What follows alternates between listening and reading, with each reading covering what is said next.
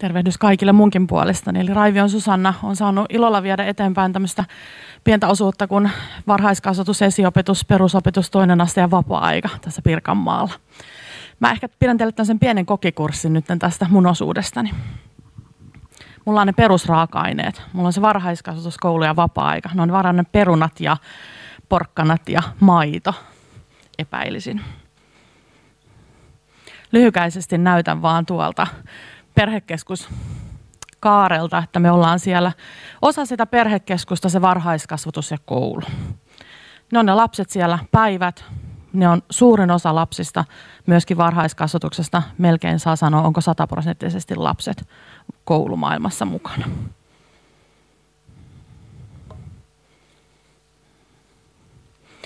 Mä annan teille tässä pieniä tiisereitä. Mä en kerro kaikkea, mulla on niin lyhyt aika. Huomenna sitten siinä mun omassa osuudessani aamupäivän kahden puolen tunnin osuudessa mä pystyn sitten avaan sen kaiken työn, mitä meidän kehittämisryhmä on saanut aikaiseksi. Ja saan sen avattua meidän kehittämisryhmän ihmisten kanssa, mutta tässä muutamia siitä, että mitä, mitä kaikkea ollaan saatu tämän puolentoista vuoden aikana oikeastaan aikaiseksi. Mutta ihan ekana tärkein asia. Mä haluan kiittää meidän sekä varhaiskasvatuksen että koulun kehittämisryhmän jäseniä. Tuossa aamulla tuli jo selkeästi se selviksi, selvänä, että on isot työryhmät kaikissa meidän osuuksissa. Ihmiset on tehnyt oman työnsä ohella sitä kehittämistyötä. On ollut halu tehdä siitä ja yhdessä hakea niitä uusia käytäntöitä ja mallia siihen arjessa tehtävään työhön.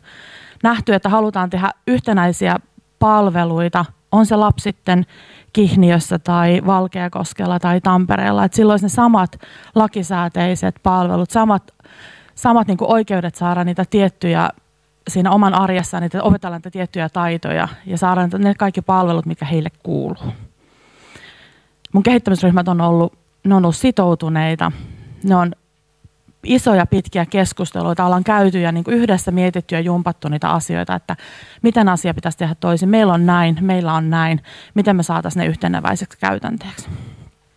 Ja miten me se tehtiin. Mä yritin kuvata tämmöisellä pienellä häkkyrällä sitä, että millä kaikilla tasoilla sitä työtä on tehty tämän, tämän hankkeen aikana. Isompana on ne kehittämisryhmät, ja meillä on ollut vielä tosiaan esiopetuksesta semmoinen pienempi alatyöryhmä, koska se esiopetus menee noiden kahden väliin, varhaiskastuksen ja koulun väliin, riippuen kunnasta, että kumpi on se palvelun tuottaja, onko se varhaiskastuksen puoli vai onko se opetuksen puoli, joka sen esiopetuksen tuottaa. Ja kaikki pilotit, mitä me ollaan tehty tässä hankkeen aikana, niin me ollaan pyritty tuomaan ne meidän kehittämisryhmiin niin kuin jumpattavaksi et, ja saatu niin, tai pyritty niin, että yksi taho vaan ei tee sitä yhtä pilottia, vaan että me ollaan siellä on seurakuntia, järjestöjä, kuntien eri organisaatioita tehnyt yhdessä sitä, koska se on se yksi, millä me saadaan myöskin sitä tasalaatuisuutta ja sitä yhteneväisyyttä niihin palveluihin. Me ollaan tehty tätä työtä niin, että me ollaan haettu niiden, niiden koulu- ja varhaiskasvatuksen niin sisäisiä käytäntöjä, niihin muutoksia, mutta samalla me ollaan tehty siitä yhtenäistämistä ja kehittämistyötä osana sitä koko perhekeskustoimintamallia ja erityisen vaativan tason kanssa tehtävää yhteistyötä. Varhaiskasvatuksen oon saanut tehdä tuon meidän Marian kanssa yhdessä ja, ja koulun työryhmän on hostannut itsekseni tässä omien kehittämisryhmäläisteni kanssa. Me ollaan tehty niin, että kun asia on ollut paljon, niin meidän kehittämisryhmän muiden kehittämään, meidän noin koordinaattorit on kiertänyt mun kehittämisryhmissäni. Me ollaan mietitty erityisen vaativan tason kanssa koulun ja varhaiskasvatuksen yhtenäiskäytänteitä, miten niitä voitaisiin, tota, niitä palvelurakenteita mm, saada ehkä joustavammaksi, selkeämmäksi. Ja tota, me ollaan saatu kokemusasiantuntijoiden kautta hyvää palautetta siitä, me ollaan saatu hyviä keskusteluita siitä, että mitä pitäisi tehdä toisin, mitä pitää ottaa huomioon, mikä on se asiakaslähtöisyys siinä. Ja tota, ne on oikeastaan, mä, tämä on mun mielipide, mutta mä veikkaan, että ne on ollut ehkä suurempia anteja meillä myöskin, että me ollaan saatu kokemusasiantuntijat meidän työryhmiin mukaan. Silloin on tietyllä tavalla vielä syttynyt niin kuin yhtä astetta niin kuin pidemmälle menty siinä keskustelussa ja, ja saatu niin kuin siihen, siihen arkeen hyviä tipsejä ja, ja niin kuin semmoisia askelmerkkejä. Tämä syksy on mennyt sillä tavalla, että ikävät puolitoista vuotta me ollaan oikeastaan oltu niin kuin omien kehittämisryhmien kanssa ja tämä syksy me ollaan tehty niin, että – Meillä on ollut varhaiskasvatuskoulu, ja sitten meillä on ollut perhekeskustoimintakokonaisuus, NEPSYä, erityisen vaativat tasot. Meillä on tämmöisiä vähän isompia työryhmiä, että ollaan sitten se meidän omissa kehittämisryhmissä tehty työ niin kuin vielä viety ja nivottu yhteen niin kuin eri toimijoiden kanssa. Et me ollaan saatu se yhteinen puhe myöskin siinä eri työryhmien välillä. Tässä on lyhykäisesti niitä, sanotaanko näitä nyt sitten resepteiksi tai pohjaohjeiksi sieltä STMltä ja OKMltä ja THLtä siitä, että mistä me ollaan lähetty liikenteeseen. Siellä on ollut toiveena hankesuunnitelmissa, että vahvistetaan kiusaamisen ja häirinnän ehkäisyyn materiaalia, tuetaan vuorovaikutustaitoja tai vahvistetaan vuorovaikutustaitoja, edistetään hyvinvointia tukevaa vapaa-ajan toimintaa, vahvistetaan osallisuutta ja yhteisöllisyyttä, tuetaan vanhempia kasvatustehtävässä. Eli hyvin paljon sitä, mitä tässä on jo muissa kehittämisryhmien osuuksissa tämän päivän aikana kuultu. Et samoilla mennään.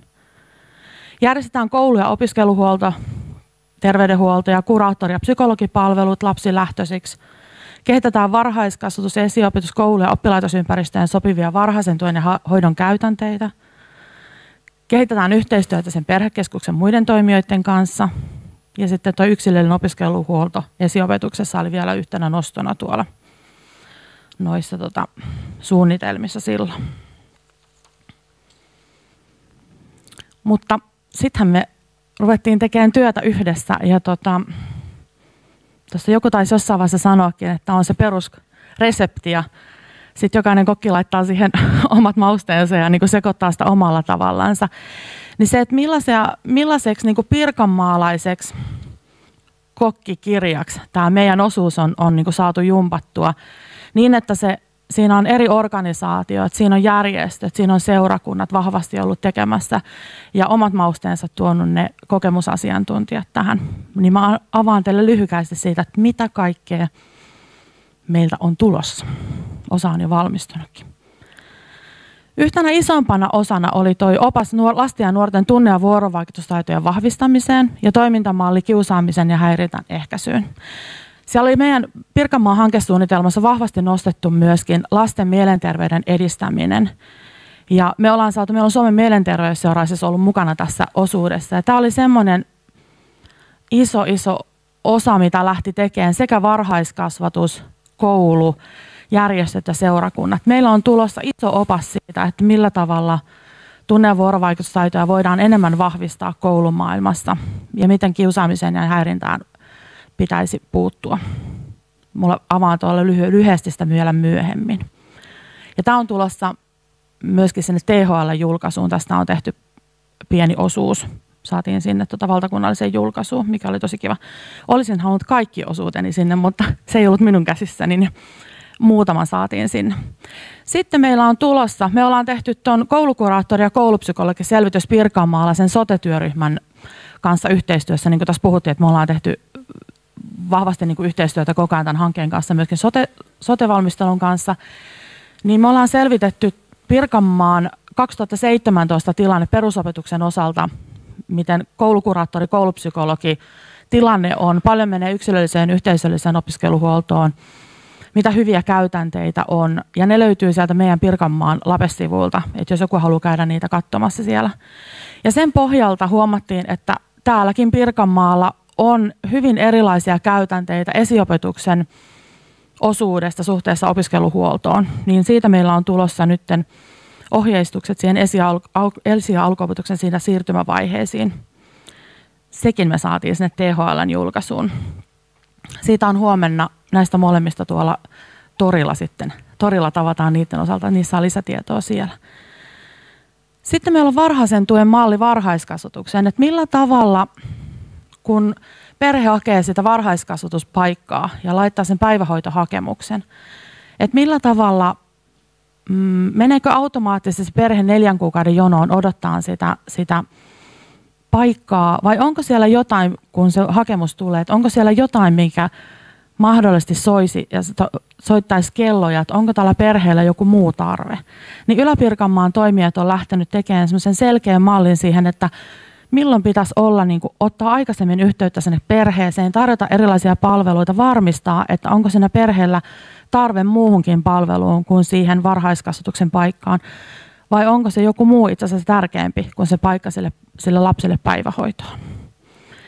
Minusta oli hyvä se, että, että niin kuin ei oleteta asioita, vaan että kysytään suoraan perheeltä, että niin kuin, onko kaikki hyvin, tarvitteko jotain lisää. Sitten jos puhutaan lasten ja nuorten mielenterveyden edistämisestä ja siitä hyvinvoinnista koulumaailmassa, niin, niin osallisuus ja yhteisöllisyys koulussa tulee hyvin vahvasti kuvioon mukaan. Me jumpattiin tuolla Kangasalan kanssa ja siinä on ollut seurakuntaa ja nuorisotoimea ja järjestä, muitakin järjestöjä mukana sitä, että, että mikä se olisi se ajatuksella se, että mihin yhteisöön minä haluan kuulua. Mitkä olisi niitä semmoisia peruspalikoita, mitä ne lapset vois itse miettiä siellä, että miten mä voin tuottaa sen koulupäivän paremmaksi mun luokkatovereille. Mitä mun, mikä olisi semmoinen mun unelma siitä, että mun olisi hyvä olla koulussa. Ja ne on kaikki mun mielestä semmoisia, että kun niitä pystytään kasvattamaan ja lisäämään, niin, niin se lapsi pystyy keskittyyn mun mielestä silloin tunnilla siihen paremmin. Sulla on se rauha siinä olla siinä tunnilla keskittyä siihen, että sä opiskelet ja opit ja kuuntelet ja yhdessä opit ne taitoja, niin sitten sulla on niitä kavereita ja niitä muuta siellä välitunnilla. Sulla on rauha olla myöskin siellä välitunnilla sä tiedät, että sulla on kivaa sielläkin. Et millä tavalla tuotetaan se tämmöistä yhteistä hyvää ja niin kuin jokainen miettii, että mihin yhteisöön mä haluan kuulua. Ja tähässä osuudessa on oltu myöskin huoltajat mukana. Että meillä on semmoinen huoltajan yhteinen päivä siinä, että että millä tavalla huoltajat voisi enemmän olla mukana siinä lapsen koulun arjessa. Sitten malli vanhempien tukemiseen ja vertaisuuteen. Tuolla on ollut paljon jo aamupäivällä puhetta siitä vanhempien tukemisesta. Meillä on, tulossa, meillä on Valkeakoskella pyörinyt tämmöinen, täällä on myöskin sen toimijoita. Itse olen saanut olla mukana siinä, koska lapseni on Valkeakosken koulussa, niin meillä on Vilmassa kyselty sitä, että millaisia asioita me haluttaisiin niin keskustella vertaisryhmässä siellä oli tällä viikolla pelaamisesta. Joo, katon. tota, niin siellä, niin siellä on äh, kerran kuussa on vanhempain kahvilla illat, mihin saa kuka tahansa tulla keskustelemaan siitä aiheesta. Valkeaksi on moni, monialainen tiimi, joka pyörittää. Sitä on seurakuntaa, äh, sosiaalitoimia, järjestöjä, nuorisotoimen ihmisiä. Ja tota, se, mitä mä oon kuullut ilolla siitä, että ne kahden ja puolen tunnin illat eivät riitä. Eli se, se keskustelu on niin hersyvää siellä ja on tarve siihen vertaiseen, vertaistukeen ja muuta, että siellä on, niin kuin, siellä on perheet ja se, niin se illat on jatkuneet ja jatkuneet, että tota, siellä on tarvetta ja tilausta semmoiselle yhteiselle keskustelulle. Siellä on myöskin pop-up-kirjastoja aiheesta, mistä tota, ollaan käsitelty, niin minusta on ihan hauska idea. Sitten toi toinen aste, mikä on tietysti ollut tässä paljonkin puheissa nyt niin kuin mediassa reformin ja muun myötä, niin on myöskin haettu siihen, että millä tavalla niitä toisen asteen opiskelijoita voidaan siinä arjessa tukea. Ja sillä, sitä varten on nyt neljä kohtaamoa perustettu niin kuin Pirkanmaalla tänne Tredun toimipisteisiin. Ja se on sitä, että siellä arjessa pitkillä välitunneilla tulee eri toimijatahot niin kuin tuottamaan ja kertoo niistä omista palveluista niille opiskelijoille. Kevätpuolella kerrotaan erilaisista kesätyömahdollisuuksista. Kela voi tulla kertoon syksyllä, miten saa opintotukijutut ja muuta. Että ne on siinä laps, nuoren arjessa, sen opiskelijan arjessa se, että millä tavalla niitä asioita, tai mitä, mun, että mitä mä tiedän, tai mistä mä saan ne tiedot vaikka asumiseen liittyvät tai muuta. Ja se on ollut hirveän toimiva. Se on lähtenyt vähän niin kuin sieniä sateella pomsunut niitä, niitä tota kohtaamotoimintoja.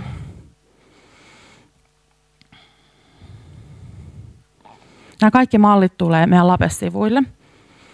Ja mä yritän saada jokaiseen meidän malliin, mitä me ollaan tuotettu, niin, niin yhteyshenkilö, jotta te voitte sitten, kun se malli kolahtaa, että ei vitsi, tässä on semmoisia asioita, mitä mä haluan, niin, niin on se, kehen voi olla yhteydessä kysyä, että hei, miten tässä kannattaisi toimia, onko vielä jotain vinkkiä, miten kannattaisi tehdä.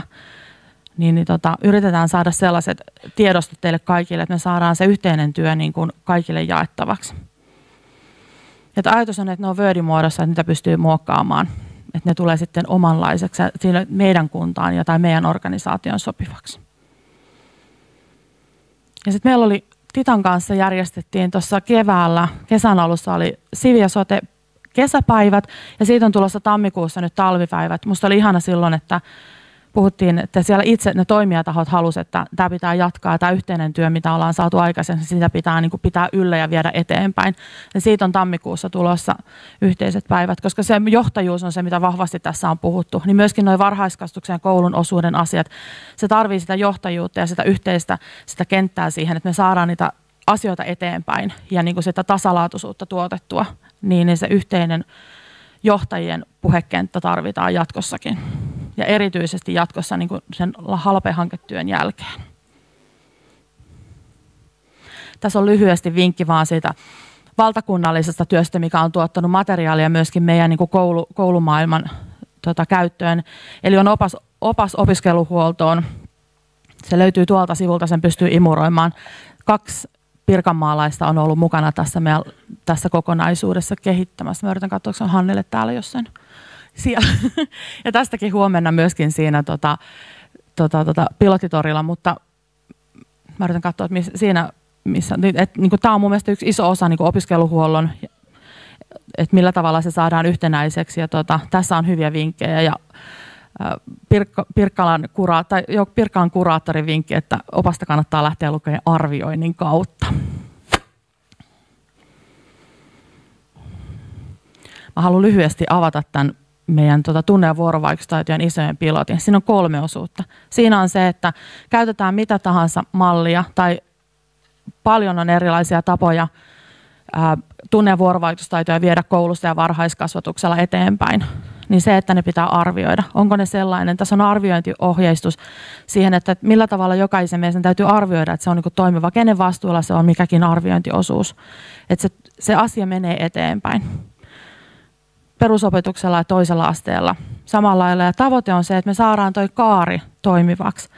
Että sillä lapsella olisi se turvallinen paikka sen varhaiskasvatuksen koulun aikana harjoitella ne taitoja. Ja sitten tuolla on toi toinen aste, joka kertoo se, että missä niitä taitoja erityisesti tarvitaan sitten, kun totta kai niitä tarvitaan koko ajan, mutta se, että kun sä lähdet harjoittelet tai valmistut ammattiin, parisuhteet ja muuta, että sä tarvit ne tunne- ja vuorovaikutustaidot sen, siinä, tota, siihen sun aikuisuuteesi. Niin siitä meillä on tämmöisellä Jaana Hintikan kautta tehdään niin, että Kaikista OPSista nostetut tunne- ja vuorovaikutustaidot on avattuna ja jokaisesta niistä on ohje siitä, että miten sä keskustelet, miten sä havainnoit, miten sä harjoitat ja miten sä vahvistat sitä taitoa. Se ei ollutkaan siellä, mä muistin. Mutta siellä on kaikki kiusaaminen, ää, leikkiin mukaan pyytäminen, kaikki nämä siinä mukana. Ja kiusaaminen myöskin sen takia, että ää, on todettu se, että paljon puhutaan kiusaamisesta ja siitä, että, että niitä on erilaisia käytänteitä, miten sitä kiusaamisen puututaan. Ja tämä ei ole yksi ainoa malli, mutta tärkeintä siinä työssä on se, että lapsi tietää ja nuori tietää, että kun mä kerron jollekin aikuiselle, että mua kiusataan, että miten se prosessi menee eteenpäin ja että se varmasti menee ja huoltajat tietää, missä kohtaa siinä prosessissa ollaan. Ja sen takia me ollaan tehty sinne semmoiset liikennevalot, että miten, miten asiat tota, viedään eteenpäin. Mulle näytettiin yksi minuutti. Ja se, että on ihana huomata, että me ei olla yksin tämän asian kanssa. Se, että me ollaan jumpattu isoja asioita varhaiskasvatuksen ja koulun kanssa, niin onneksi tämä Lapetyö on niin myöskin jumpannut asioita meidän, meidän niin varhaiskasvatuksen ja koulun ja vapaa-ajan ammattilaisille. Meillä on tulossa nepsypalvelu, on nepsypalveluita kehitetty Pirkanmaalla. Ne suoraan kosahtaa myöskin varhaiskasvatuksen ja kouluun. Sieltä tulevat niin kuin ohjeet ja mallit. Vanhemmuuden ja parisuhteen tuki, mitä aamupäivällä puhuttiin, hirvittävän iso asia, kun kohdataan koulussa ja van, tota, varhaiskastuksessa vanhempia, että miten sä otat puheeksi, miten sä, miten sä kysyt. Sieltä tulee tukea niin Tiian materiaaleista. Eropalvelut on osa osa niin kuin perheiden arkea nykypäivänä. Monikulttuurisuus, maahanmuuttajatyö, sieltä on Suvilta tulossa materiaalia siihen niin kuin apua siihen arjen työhön, siihen varhaiskasvatuksen ja koulun henkilökunnalle. Sähköiset palvelut, mitä Jaana tuossa juuri toi esille. Yhteistyökäytäneiden kehittäminen erityisen vaativan tason kanssa.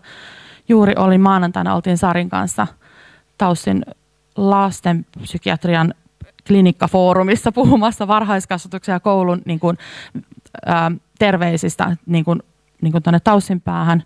Ja sitten on tietysti tuommoinen lyhy, ja VIP-verkosto, mikä on niin toista kertaa nyt kokoontumassa tänne Pirkanmaalle. Et paljon tehdään työtä siihen varhaiskasvatuksen ja koulun arkeen niin koko Lape-pohjalta ja Lape-puolella, eikä pelkästään tässä mun hankeosuudessani.